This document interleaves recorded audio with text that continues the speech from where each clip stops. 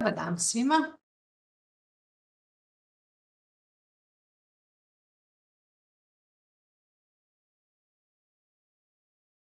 Evo ja se ispričavam na malom kašnjenju, no eto malo smo imali tehničkih, ovaj, tehničkih problema, no to nas nije spriječilo dakle da smo danas zajedno. Evo u ljetnom ritmu, ljetna matematika za zadnji tjedan ove nastavne godine, naravno nije školske godine, malo razmišljamo, pripremamo se dakle, za naše ljetne mjesece, kako mi, tako i naši učenici. I u stvari ono što nas uvijek i veseli, ali pomalo i muči, je u stvari jedan trenutak kada oni zaborave na svoje brige i obaveze, školske brige, školske obaveze i onda nam se vrate na jesen pa pomalo nam zaborave ono što bismo mi voljeli i što smo bili sretni da su do kraja pojedine školske godine u stvari usvojili. No ako gledamo opet malo i globalnije, dakle matematika je takav predmet koji eto možda malo ovaj, najmanje od svih ostalih trpi zaboravljanje, jer znate i sami, dakle u matematici je sve povezano. Na tragu toga razmišljali smo, dakle, i puno puta, vjerujem i vi, dakle i svi mi koji se bavimo matematičkim obrazovanjem i općenito dječjim znanjem, dakle same matematike, u kontekstu opet, dakle i naših nacionalnih kurikuluma, u stvari što bi mogli prirediti učenicima, to jest koje preporuke dati roditeljima, što i kako, dakle na koji način da matematika ne, ne padne u totalni zaborav, da se djeca malo zabave, dakle s njima njihovi roditelji. Ja vjerujem da imate i vi iskustvo koji mnogi od nas, u stvari da naša djeca vole male izazove, dakle one mozgalice, pa i rješavati ih unim križaljkama koje roditelji kupuju, nekakvim e, zabavnim časopisima, dakle koje možda i sama djeca prati, koje danas to možda rijeđe od onog e, od onih različitih aktivnosti koje nalaze na svojim mobitelima, ali svakako e, dakle vole izazove. Dakle, djeca e, nekako naša vjerujem iskustva su u stvari ona jedan izazov u matematici i to može biti je to upravo put da se kroz, nasta, kroz takve nekakve aktivnosti, možda matematika ne padne u zaborav, dakle da se kroz ljeto ipak pomalo te naše ove, ovaj, te naše možda ne rekli možda vijugice eh, i dalje ostanu aktivne. Kako to, koliko to je u skladu dakle sa našim nacionalnim kurikulumom, eh, imamo li dakle mi podlogu stvari i za taj jedan dio, znači često puta znamo i kroz nastavu uključivati mozgalice, zagonetke, znamo mi dakle da je to svakako vrlo važno za matematiku, no kako nam se to u stvari uklapa u cijelokupni nacionalni kurikulum. Dakle, upravo, evo gledate eh, ovaj naš cvijet, eh, cvijet sastavljen od kružnih latica koje predstavljaju konceptualne domene i naravno ovih malo ovalnih koje se nalaze u njihovoj podlozi, a to su stvari domene matematičkih procesa. Matematičkih procesi, dakle, nazvani tako, dakle, ne naravno samo s ovim našim trenutnim kurikulumom, već je to dakle u hrvatskom zakonodavnom okviru bilo zaživjelo još sa nacionalnim okvirnim kurikulumom 2011. No naravno to je jedna dobra praksa koja je u stvari preuzeta iz, od mnogih svjetskih matematičkih kurikuluma. Dakle, puno se već pričalo o matematičkim procesima, naravno e, tu su logičko mišljenje, zaključivanje, argumentiranje, kao naravno svakako jedan, e, jedno ključni element matematike. Dakle, ja mislim da niko ne može reći da se matematika može naučiti bez da se u stvari malo logički misli, e, svakako argumentira sve, znači ono zašto je to tako ili kako smo do toga došli ali osim toga, dakle, tu su svakako prikazivanje komunikacija, znači e, klasa kompetencija koja u stvari podrazumijeva dakle, da učenici znaju prikazati svoje ideje, da znaju komunicirati matematički. Svakako, učenje matematike, dakle matematički elemenata primjenom tehnologije, povezivanje svega onoga dakle, što se u matematici povezati treba i može, naravno počeši od povezivanja matematike unutar same sebe pa do povezivanja dakle, sa svakodnevnim životom, sa drugim predmetima, dakle sa svim onim svakako koji će dati jednu čvrstu mrežu ne samo znanja, dakle, već i baš samih vještina.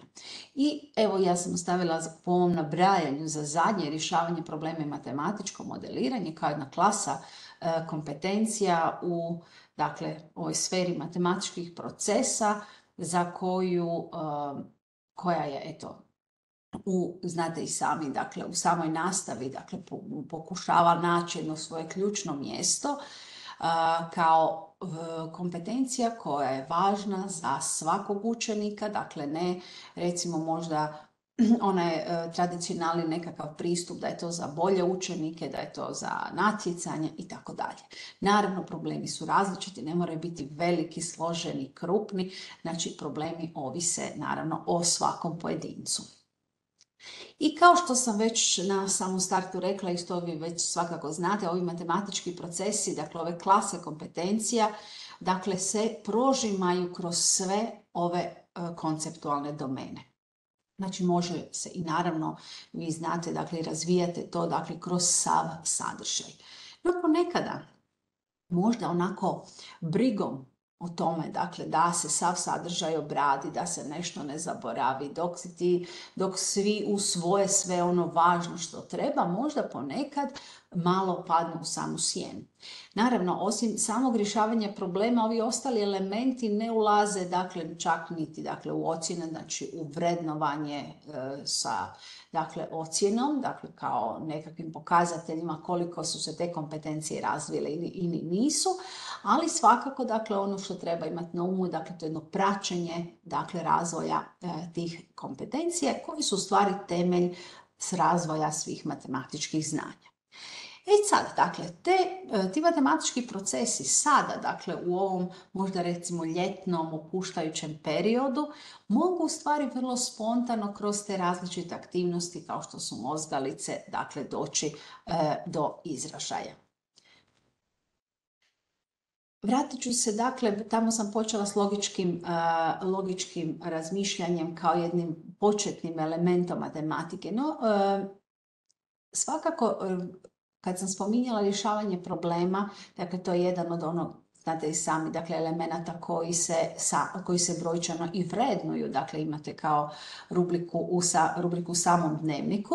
No, uh, ono što sam htjela ovdje napomenuti je Dakle, ta percepcija što problemski zadatak je i vrlo često, dakle, rješavanje problema, znači koje želimo da rješavaju se modeliranjem, što matematički, dakle, što i ostalim elementima, Svakom djetetu pona osob neki zadatak predstavlja problem.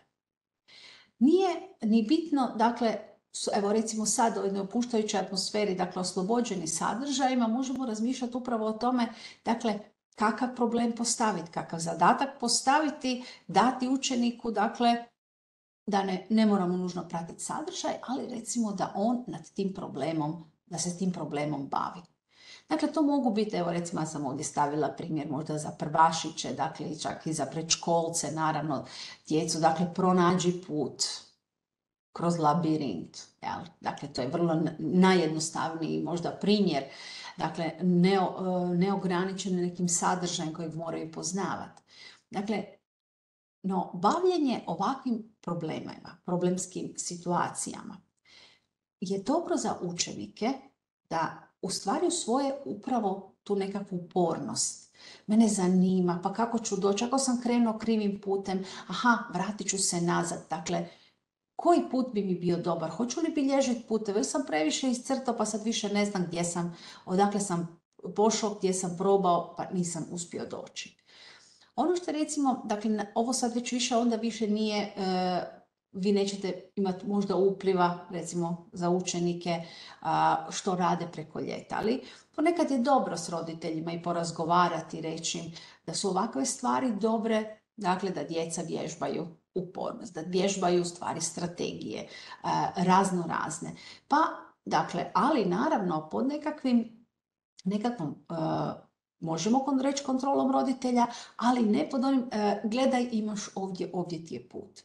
Jer kao što sam Schoenfeld kaže, znači svaki problemski zadatak je onaj zadatak koji osoba unaprijed nema ponuđenu nekakvu metodu ili proceduru koju jednostavno primjenjuje, nekakvu tehniku, nego već samo rješavanje u stvari njega razvija u smislu da razvija strategije, da iznalazi metode, a onda u konačnici to samo rješenje.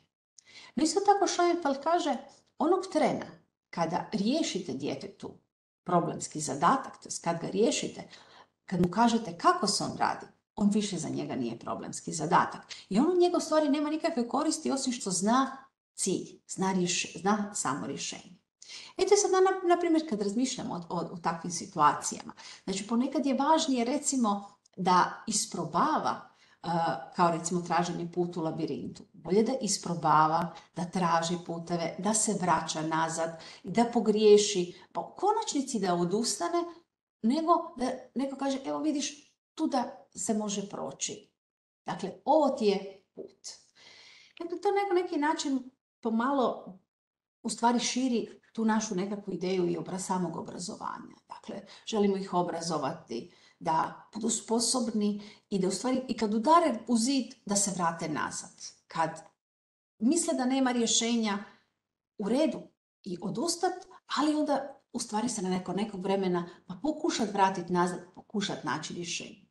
Dakle, možda eto, recimo u nekakvom razgovoru i sa roditeljima uvijek se može sugerirati, pustite, dakle, neka rješavaju, neka mozgaju, pa ako i ne, neka se sutra potaknuti da se sutra vrate. Jesi li to možda, aha, ja, ja sam nešto dobila, a nisam sigurna možda da li je to dobro, pa ajde mi ti vidi kako ćeš ti dobiti pa ćemo o tome razgovarati. Dakle, na, taj način u stvari sami roditelji e, razgovaraju sa djecom, dakle, na način da su tu prisutni, da su im podrška, ali, ali da im ne rješavaju, dakle da im ne, ne daju gotova rješenja. Eto, kroz ljetna ljetne praznike, dakle nisu ograničeni poslovima, domaćim zadaćama, pomoći djeci koji trebaju, pa onda često puta znate, ja vjerujem i sami da roditelji, uh, roditeljima ponekad lakše riješiti djetetu zadatak ili zadaću nego ovaj, natjerati ga da sam rješava zadaću. I, I na taj način u stvari možda sugerirati kako bi mogli kvalitetno provoditi ljetne praznike.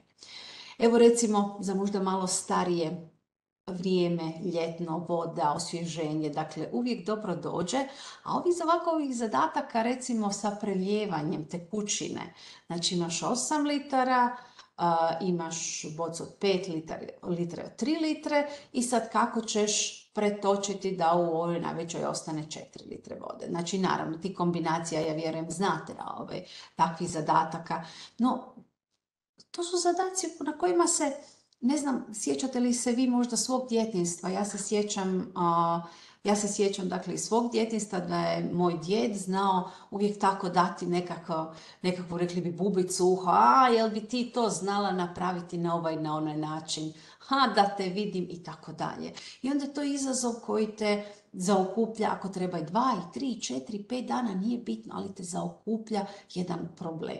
Dakle, tu sada kad se ima vremena, dakle gdje se to može čak i praktično izvest, možda uzet boce pa pretakati iz jedne boce u drugu i tako dalje. Znači, ono što hoću sad ovdje naglasiti, dakle, opet recimo prema Štajnu, znači svaki zadatak je matematička nekakva aktivnost koja, ok, može se provoditi u razredu, ali naravno u svako i u slobodno vrijeme, koja fokusira učeniku pažnju na nekakvu ideju. A to je u stvari jako dobro. To je jako dobro za matematiku, za nastavu kasnije matematike. Znači kad vam djeca neće samo tako dati zadatak, aha, ne znam, ja taj zadatak ne znam, nismo to tako radili, jel tako? Dakle, nemaju volju, želju za onim mozganjem, razmišljanjem, ne, ne kopa ih, kakav bi taj rezultat mogao biti, kako bi ja to mogao doći do toga. Vraćati se konstantno, znači vraćati se stalno na jedan zadatak. Znači sada, dakle, kroz ljetne, ljetni period, recimo, taj jedan zadatak može trajati danima. Što recimo ponekad učionici nam je malo u razredu, stvaramo sami možda sebi i pritisak, ali ponekad se desi da jednostavno moraš požuriti, jel tako? Dakle, moraju se realizirati određene aktivnosti ako želiš, ako ne radi jednog učenika, to jest ako ne radi nekoliko učenika, dakle radi jednog, dva ili tri, dakle zbog kojeg treba ići za gradivom na, naprijed, jel tako? Dakle, i različitim aktivnostima gdje u stvari su možda neki drugi učenici onda uskraćeni što se vremena tiče. jednom prilikom sam sudjelovala i bila domaćin u stvari na jednoj velikoj konferenciji vezano za baš problemske, problemsku nastavu matematike gdje su se brojni svjetski, svjetski stručnjaci vezano za baš rješavanje problema u matematičkoj edukaciji našli. I onda su bile, bile povukla se u stvari dakle rasprava upravo tako oko rješavanja problemskih zadataka, koliko, na koji način. I uglavnom su se složili svi, iako znamo da je to u razredu ponekad možda malo nezgodno, da jedan zadatak, dobar problemski zadatak, da ga se rješava i dva i tri dana, to je dva i tri sata kroz par dana, više vrijedi od 10, 20 pa čak i 100 zadataka koje se rješavaju na proceduralnoj razini.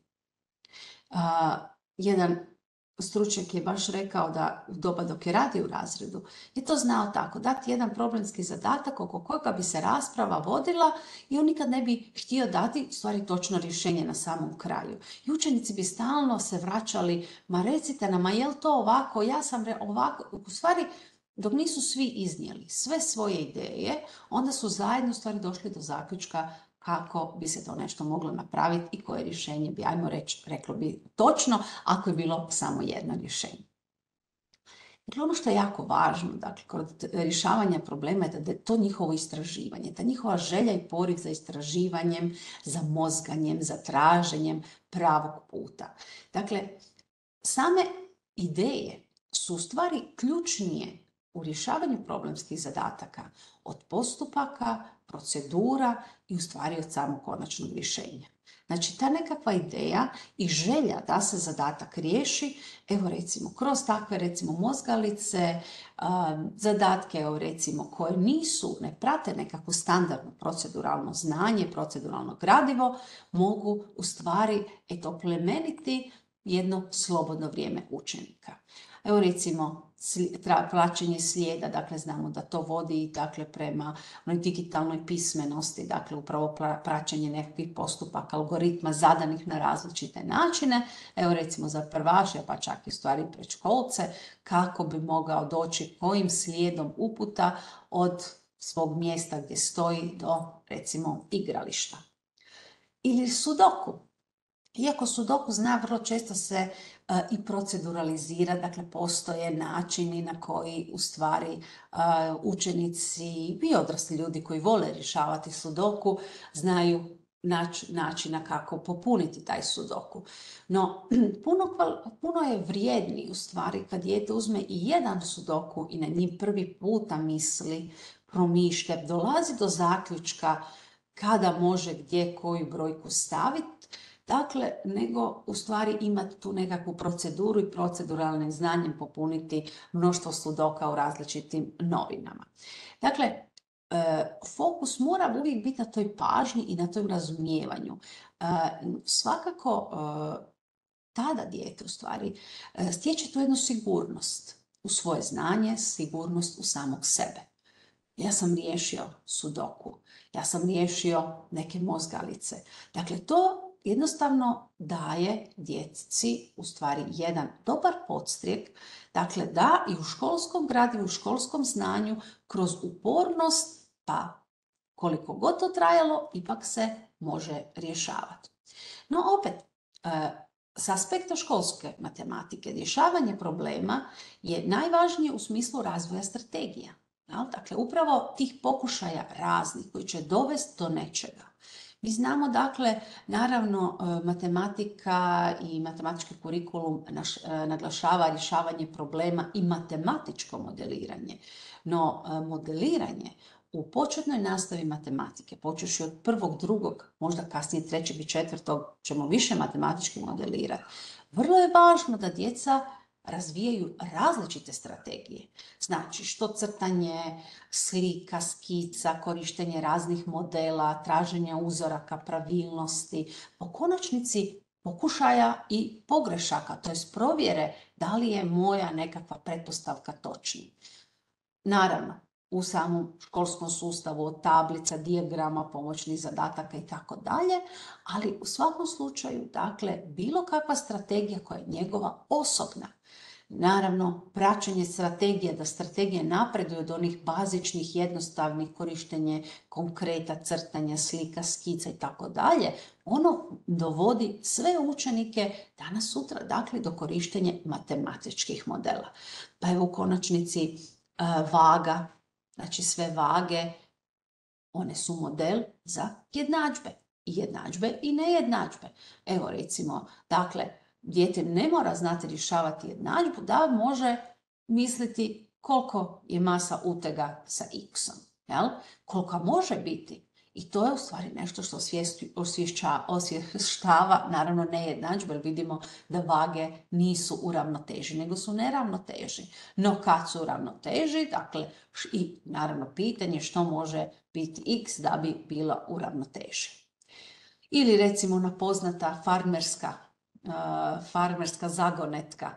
Dakle, e, naravno ovdje je napisana e, malo u jednom drugom, e, drugom formatu. Dakle, mi imamo kokoši, svinje i goveda na nekoj farmi, jednaki broj svake vrste životinja, ali dakle ukupno imaju 180 nogu, koliko je goveda, naravno svinja i kokoši na toj farmi. Dakle, ali to je recimo, kažem, prilagodba onog jednog poznatog zadatka farmerskog, to je u matematici nekako poznat, kao poznati farmerski zadatak, dakle na nekom imanju im su kokoši i zečevi, ako ima toliko glava i toliko nogu, dakle koliko ima jednih i drugih. Dakle, to su isto nekakve pitalice, ono u maniri onog nekakvog opuštenog, recimo, opuštene atmosfere i vrlo često, recimo, kažem, ja se sjećam, dakle, svog djetinstva, tih nekakvih zagonetki koji često moj djed je to postavljao meni, ali isto tako onda bi se to prenosilo u nekakvo društvo kad bi se djeca družila, ajde ili ti znaš kako ili na koji način ili recimo kako uh, od devet jedna kuglica na, na, koje su jedna, na jednake na izgled, pronaći onu koja je mrvicu lakša, a u dva vaganja i tako dalje. Dakle, to su uh, to su stvari koje se mogu oživotvoriti kod naše djece koje su malo možda jednostavno se zaboravljaju i više se generacijski ne prenose takve nekakve aktivnosti jer se možda i generacijski djeca manje druže. Kao recimo kao što su one različite igre što su se uvijek igrale po dvorištu, e, po ulicama i tako dalje. E, Idući, dakle, iduća komponenta matematičkih procesa, dakle, to logičko mišljenje, argumentiranje i zaključivanje.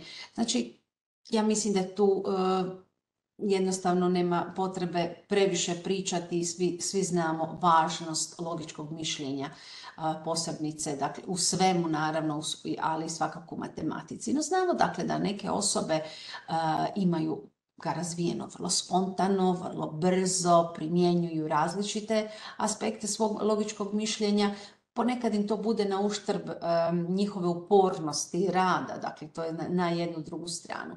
No svaka osoba ga ima u određenoj mjeri i ona podrazumijeva u stvari, dakle osoba koja kaže da posjeduje, kažemo da posjeduje dobro logičko mišljenje i u stvari ona koja vrlo brzo i učinkovito povezuje različite aspekte znanja, različite prikaze, reprezentacije, situacije i u stvari uvijek prolazi, e, pronalazi najučinkovitije strategije za rješavanje bilo kakvog problema. No, kao i sve, i to se da vježbati i to se da ubrzati, znači osoba može naravno primjenjujući aktivnosti dakle, koje njegovu kogniciju razvijaju, dakle i logičko mišljenje ubrzati.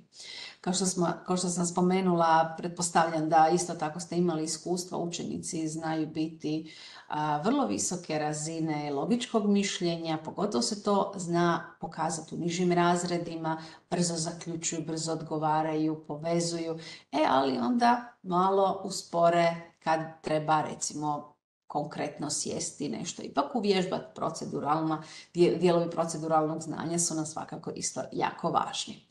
Evo recimo, opet za malene, tu su različite nadopunjaljke, dakle posebno dakle, kad se radi o rotaciji, dakle ovog recimo dijela koji nedostaje u kružnici. Naravno, uvijek e, u ovim dijelovima kao i u školskom znanju. Znači, mi razvijamo matematičke procese, to kompetencije spektra matematičkih procesa, ali isto tako, dakle, tu se uvijek u podlozi skriva i nekakav sadržaj, dakle, nekak, nekakvi dijelovi koncepta, dakle, konceptualnih domena. Naravno, tu smo vidjeli brojeve, računanje. Dakle, ovdje vidimo dakle, i ove e, razvoj prostornog zora. Dakle, mi sa one rotacije pojedinih dijelova dakle, koji bi se mogli uklopiti dakle, u samu jednu sličicu, evo recimo ove kuglice. Ili, ili za starije učenike, naravno, e, vrlo važan aspekt logičkog mišljenja je znati uopćavati, generalizirati, a recimo, dakle, generalizacija Naravno se najbolje uopćavanje uočava, dakle kod evo nekog formi opet jednadžbi kao što je vaga, samo sad ovdje imamo nekakve štapiće u boji kojima ne, ne znamo veličinu nekima, nekima znamo, pa kako bismo mogli odrediti kolika je taj koliki je taj x. Ili recimo, eto po još jednom prilikom u ovaj zadatak, dakle, ko što nedostaje liku na lijevoj strani, dakle da bi se nadopunio u pravokutnik sa jednim od ovih elemenata koji se nalaze pod A, B, C i D.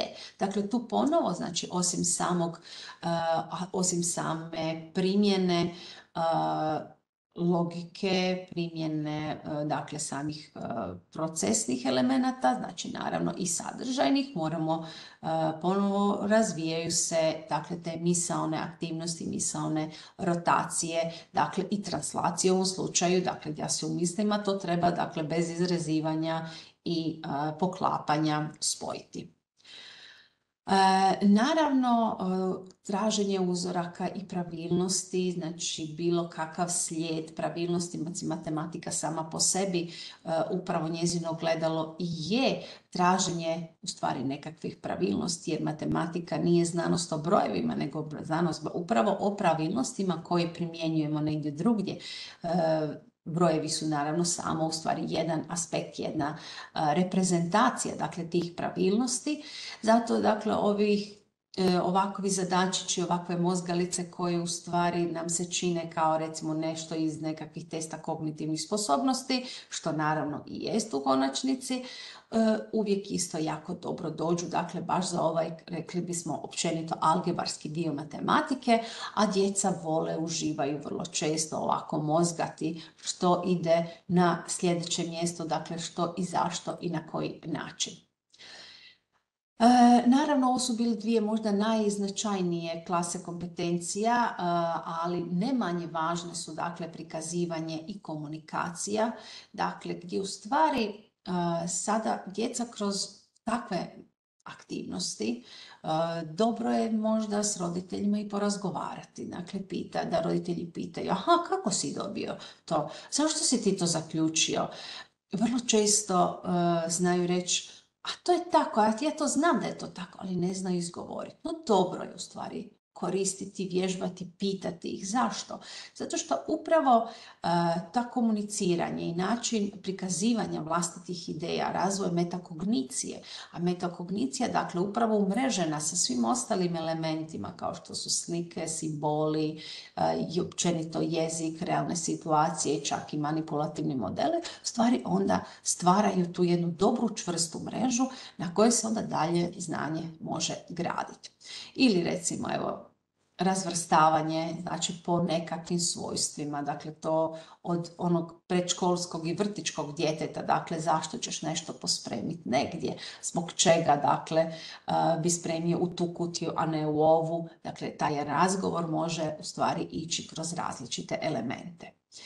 I svakako povezivanje, koje, bez kojeg matematika, ja mislim, ne bi mogla niti egzistirati, povezivanje Eh, sa različitim, sa različitim elementima, različitim, možda evo recimo ovdje sam ja stavila nekakav primjer iz povijesti, povijesne činjenice ili povezivanje dakle sa fraktalnom geometrijom. Njih uvijek e, interesira možda nešto recimo ako su stari četvrtaši, trećaši, nešto što su čuli negdje, neko govori o nekakvim fraktalima, e, oni imaju lijepe izglede recimo različita, dakle recimo povrće, brokula, cvjetača, dakle to, to su recimo nekakvi elementi ove koji nas uvijek podsjećaju na fraktale, recimo mogu vrlo jednostavno sami raditi, stvarati fraktale, to je recimo vrlo interesant, interesantne sličice nastaju.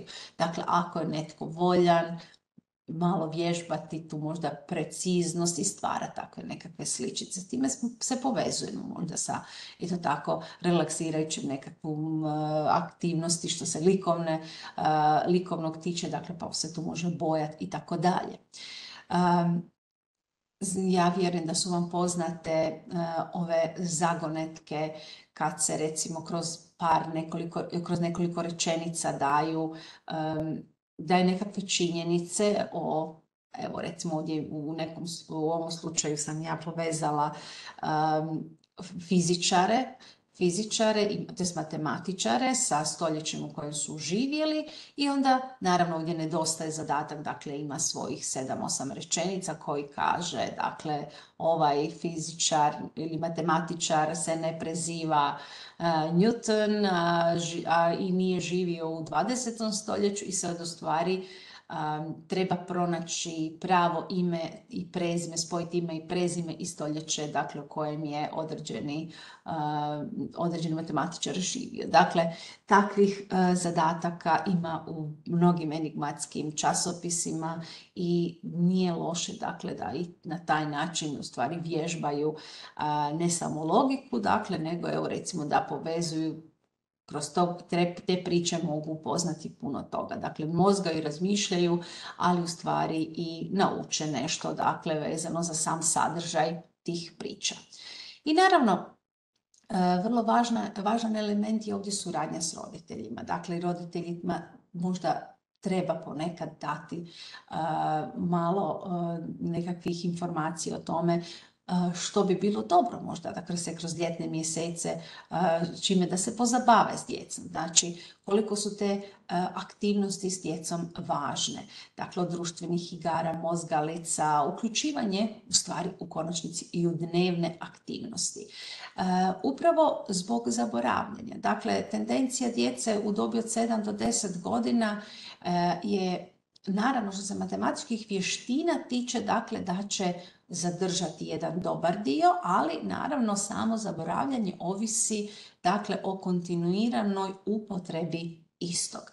Znači primjena toga, dakle ovisno dječjim interesima, motivacijama, roditeljima i djece, dakle naravno E, što se tiče same nastave, to, za, vrijeme, e, za vrijeme trajanja nastave, ali jedna podrška dakle, koju primaju od kuće je izuzetno, izuzetno važna. E, kroz ljetne mjesece dakle, može se raditi svašta, dakle od što sam rekla, od igranja društvenih igra, ali dakle tu se može pa u stvari što god da se radi, od, može se istraživati odnosi, veličine, pa procijeni što misliš koliko je visoko ovo drvo, recimo putuje se negdje pa se promatra ju, dakle, građevine, pa recimo pa visina, pa koliko misliš da je drvo, da je, da je nekakva zgrada, da si ti visok i tako dalje. Pa računanje vremena, čak i planiranje vremena, vrlo često nam se znaju djeca izgubiti u onom vremenu, evo kao što se ja ponekad malo ako izgubim u vremenu, sad sam se podsjetila koliko je sati, dakle recimo gledanje u mobitele i tako dalje, jer možemo mi reći ili ne reći, ali oni će ipak jedan dio vremena i uz to provoditi. Dakle, on može i se uključiti u nekakvo financijsko planiranje, dakle, nekakvog džeparca, nekakvog planiranja putova, igra na e, matematičke igre na nekakvim putovanjima, znači da kad putuje da ne budu da im ne bude dosadno, pa ono što sam vidio, koliko sam vidio, vidio sam nečega pet, nečega tri, nečega dvadeset i tako dalje. To je ona, ona igra I spy with my little eye, ali mislim da nisam sigurna da u hrvatskom ovaj, ima nekakav svoj prijevod. Pa naravno, recimo, od spremanja različitih obroka, vaganja, mjerenja, recimo i obroka i kolača i tako dalje. I recimo u prirodi malu djecu ih se može, mlađu djecu, dakle, pitati, znači, oblike, dakle, sad sam vidio nešto što mi liči na krug, što liči na krug, dakle, ako prolazimo, ako šetamo i tako dalje, skupljamo cvijeće, školjke i tako dalje, brojimo listiće, latice i tako. Dakle, sve to se čini, čini sitno, nevažno, ali jako važno. Dakle, malo po malo, dakle, da taj kontinuitet uvijek postoji. E, ove sve zadačiće što sam vam pokazivala, mozgalice, naravno ima toga u različitim časopisima, kažem što za odrasle, što za djecu. No e, u našim e, radnim bilježnicama koje su interaktivne, naravno imaju poveznice, dakle još na digitalne zadatke, zadačiće Dakle, možete pronaći tamo, dakle, možete preporučiti možda i roditeljima, e, učenicima, dakle, da se mogu, recimo, i zabaviti, dakle, kroz ljetne mjesece, dakle, kroz ovakve ljetne mozgalice. Evo, dakle, za prvi razred do traženja čarapa, bojanja, prebrojavanja, dakle, svega onoga što stvarno možemo, možemo pronaći, dakle, kažem, u različitim časopisima, ali eto, ovdje su pomalo na okupu. One mogu, naravno, i znate, i sami, dakle, i uključiti u konačnici, dakle, i nešto, neka sadržajna znanja, ali, kažem, bitno je da se nečim bave, da razmišljaju, dakle, da misalne aktivnosti ostanu na toj razini, dakle da kad dođe jesen, da ne, ne bude sad odajmo tri mjeseca dok se podsjetimo i krenemo, dok se uhodamo, pa eto nam i bošićnih praznika. Evo, dakle, ovdje je zadatak sa vagom i ovih devet kuglica koje su otprilike jednake, pa da osmosmjerki koji čak možda ne traže neku nužnu veliku misalnu aktivnost, ali evo recimo zabavno je tražiti dakle takve neke, ovaj, neke, neke zapise. Eto, i time pomalo sam ja e, završila dakle sa samom e, prezentacijom, no eto još e, sam tu za vaša pitanja, iako sam eto htjela možda u jednoj ležernoj ljetnoj atmosferi, dakle da se za danas ovaj, eto, pozdravimo za ovu školsku nastavnu godinu, a svakako dakle na jesen vidimo se ponovo. Eto, ja sam tu za pitanja, da vidim samo u četu.